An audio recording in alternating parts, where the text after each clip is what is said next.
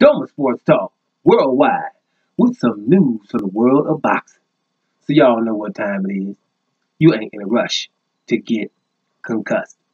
Now, baby, it's Joshua versus Ruiz week, or Andy Ruiz Jr. versus Anthony Joshua week. Ruiz is the champion now, right? We're gonna give Joshua respect, so we're gonna give him a week. We're moving up to that fight, and it is, you know, going to be a big one. We know it. The whole December 7th is going to be awesome. There's a lot of fights on December 7th in different parts of the world. A lot of significant things. The undercard for the Joshua Ruiz fight is already up. I'm hyped about the Michael Hunter versus Alexander Povetkin fight. That's going to be a nice one, too. Look at, uh, you know, your boy Junior, Chris Eubank Jr. versus uh, Matt Korobov. Good fights. You know what I'm saying? We be watching boxing all damn day and night, right? But let's talk about Andy Joshua, Andy Ruiz Jr. Some significant information that came out. You know, WBN. A lot of people, you know, care about what the World Boxing News got to say. Whatever. You know, me sometimes. Who knows? But anyway, they then got word that uh, Joshua was having trouble in sparring again.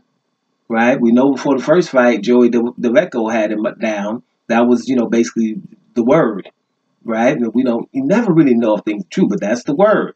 Now, you know, I think they wouldn't have put it out there if they didn't have uh, substantial uh, evidence, or at least they believed, you know, their sources. So you know, it seems to be having trouble.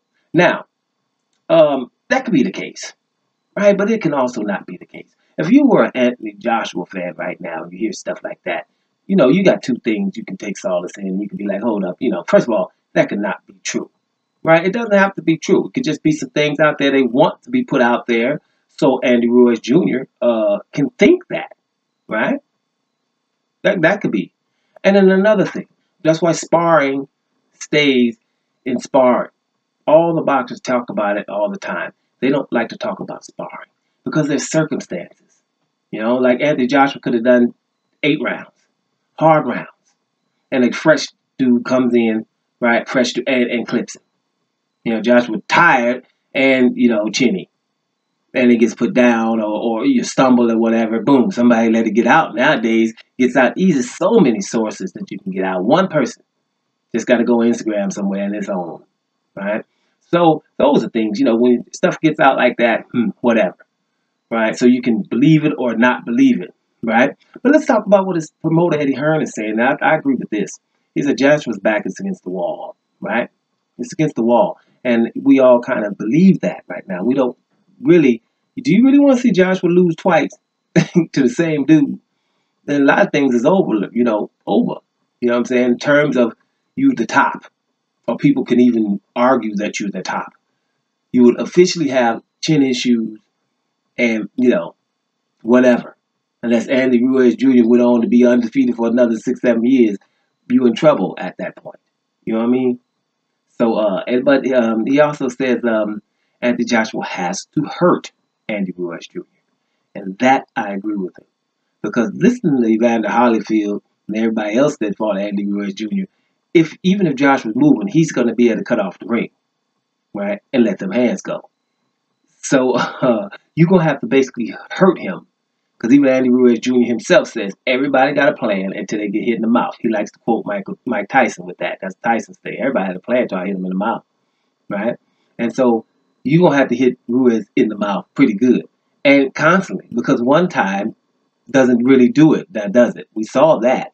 Hit he hit him with a peach left hook, and then to hit him with the right hand after he got up from that left hook. Andrew Jr. thinks he could take Joshua's punches, which is dangerous, but at least it's going to let him get in there to let his hands go. So it's very interesting. I agree with uh, Eddie Hearn here. Hey, he's going to have to hurt him, right? So you know, with the with the sparring rumors, you know, you had positive rumors. You had other rumors saying that Joshua was uh, taking people out, sending people home quick. I've heard that just as much. So we don't really know what's going on, and we ain't gonna just clam on to oh Joshua got dropped. If we can't clam on to oh Joshua then took out several sparring partners. It's sparring, not really extremely significant, but like in the first fight when we were hearing that it was recently, uh, right before the fight where he was still concussed. Now that can be an issue. But just having hard sparring, ask all of the boxers. That's all the time. Most, you know, they, they get down up in there, right? Get down up in there. So what it is, what it is. That's not too much big news. But bottom line is, uh, you know, it seems to be going down in sparring. But I don't know if that's bad news or good news. But I know it's damn news. Film Sports Talk. Worldwide. And I'm about to here, y'all.